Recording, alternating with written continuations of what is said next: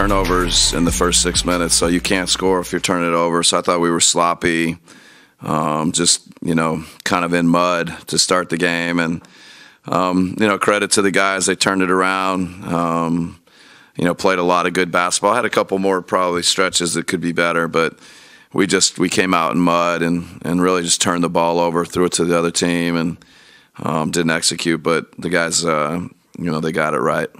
I think this is kind of a continuing series of games where Giannis all of a sudden in the fourth quarter accounts for, I don't know, 15, 20 points in the first six minutes and you guys kind of put a team away. Just what does it say about him that he can have that presence or whatever it might be in the fourth?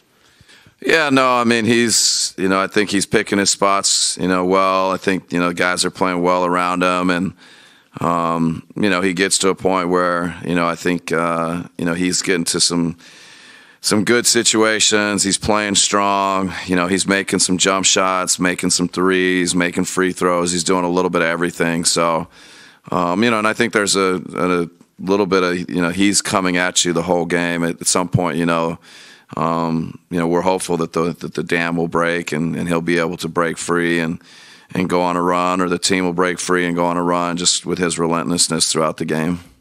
Um, in this win streak, uh, you guys are I think averaging 124 points a game. Um, I, I, know making shots obviously is a big part of that, but what have you maybe seen? Is there a thread between this half dozen games to show that this, to see the offense kind of explode like this?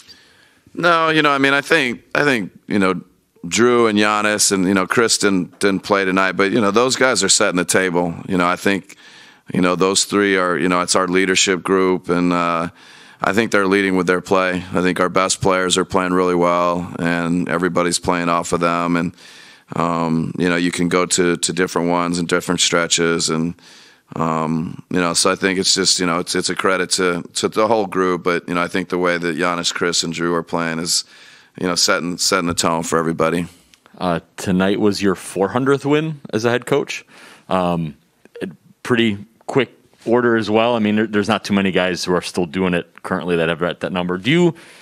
How do you take those, such things as they come, and, and does it mean something to you when you kind of hit these these milestones? I mean, you're just you're very very grateful, you know, um, to the players. Most importantly, um, we have just an incredible group of guys in the locker room.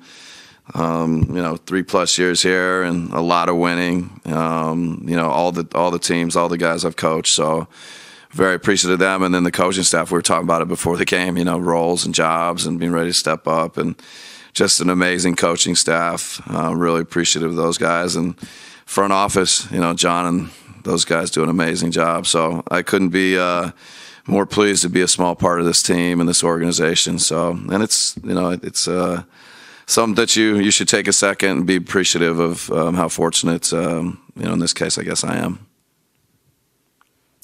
what you saw from Jordan first game in about a week and uh, deliver the way he did and shoot the way he did. Yeah, no, uh, you know, we had a good conversation with Jordan about how well he took. He had an uh, opportunity to play um, when we were banged up and, and the COVID and, and uh, health and safety protocol stuff, and, and he took advantage of that that opportunity and. And you know, I said, you know, you got to be ready for the next time you get an opportunity, and that was tonight. And and uh, he was ready, and um, he took advantage of it. So you know, and, and, Rodney too. I think both those guys hadn't played the last couple games when we're you know everybody's healthy, and uh, both Rodney and Jordan to be ready, and um, you know to have that depth. Uh, we're very fortunate. And with Donte, just wanted to rest that ankle, or after a few games, or no, he twisted his ankle in, in warm ups.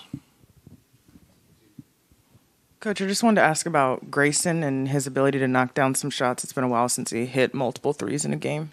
Yeah, no, uh, you know, another guy that you know we we need him to kind of get free, and um, it was great to see him make some, and um, you know, everybody's gonna, you know, even the best shooters maybe have just you know mini slumps and things like that. So um, but you know, I liked him tonight. Um, you know, and I, the, the pulling the trigger. He got some early threes, you know, deep, and you know some kick out off offensive rebounds, letting it fly.